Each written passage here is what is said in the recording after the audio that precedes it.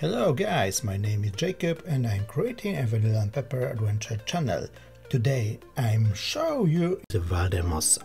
Valldemossa is a beautiful town located in the western part of Mallorca, in the Sierra de Tramuntana mountain.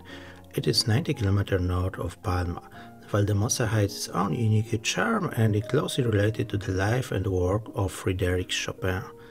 The best way to get to Valldemossa is by car. In addition, the number 210 bus from Palmas to Soller stops here all year around. Valldemossa is a town with a population of less than 2000 people. It is so small that you can easily walk around it. Valldemossa is closely related to Frédéric Chopin and the French writer Georges Sand. They lived together in Valldemossa for several months, living in a monastery located in the heart of the town. This time played a huge role in both the artist and private life of the composer.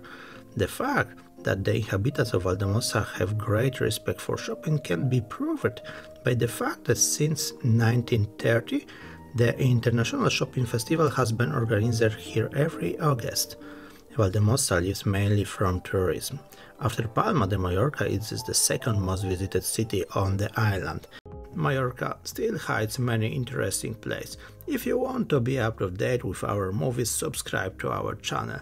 And if you like the movie, leave and thumb ups. See you in the next report.